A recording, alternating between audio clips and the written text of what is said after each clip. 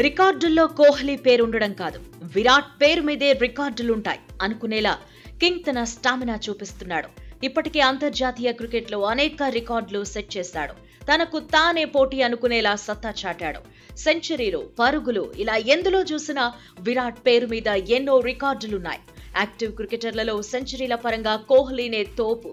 అంతర్జాతీయ క్రికెట్లోనే కాదు ఐపీఎల్లోనూ కింగ్ ఈస్ కింగ్ అనుకునేలా రికార్డులున్నాయి. ఐపీఎల్లో అత్యధిక పరుగులు చేసిన బ్యాటర్ విరాట్ కోహ్లీనే.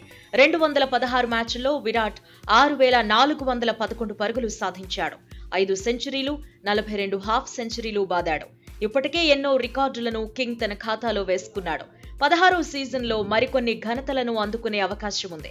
ఈసారి రెండు సెంచరీలు కొడితే ఐపీఎల్లో అత్యధిక శతకాలు బాదిన బ్యాటర్గా సరికొత్త చరిత్ర సృష్టిస్తాడు. ప్రస్తుతం ఆరు సెంచరీలతో Windies star player Chris Gayle టాప్లో ఉన్నాడు. మరో సెంచరీ సాధిస్తే గేల్ రికార్డును విరాట్ లెవెల్ చేస్తాడు. రెండు సెంచరీలు కొడితే విండీస్ ప్లేయర్ను కింగ్ దాటేస్తాడు. క్యాచ్ల పరంగాను సెంచరీ మార్కుకు కోహ్లీ చేరువలో ఉన్నాడు. ఆర్సీబీ స్టార్ ప్లేయర్ ఇప్పటి వరకు తొంభై మూడు క్యాచ్లు పట్టాడు. అత్యధిక క్యాచ్లు పట్టిన ప్లేయర్ల జాబితాలో నాలుగో స్థానంలో ఉన్నాడు.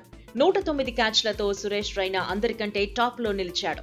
ముంబై ఇండియన్స్ మాజీ ప్లేయర్ నూట మూడు క్యాచ్లు అందుకున్నాడు.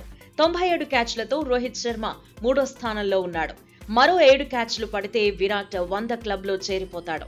ఐపీఎల్లో ఏడు వేల పరుగులు చేసిన తొలి ప్లేయర్గా నిలవడం పైన కింగ్ ఫోకస్ చేశాడు. సీజన్లో మూడు వందల డెబ్బై ఆరు పరుగులు చేస్తే చాలు. ఏడు వేల మార్కును కింగ్ టచ్ చేస్తాడు. ఇక ఇప్పటికే ఐపీఎల్లో విరాట్ అందుకున్న రికార్డులను ఫ్యాన్స్ గుర్తు చేసుకుంటున్నారు.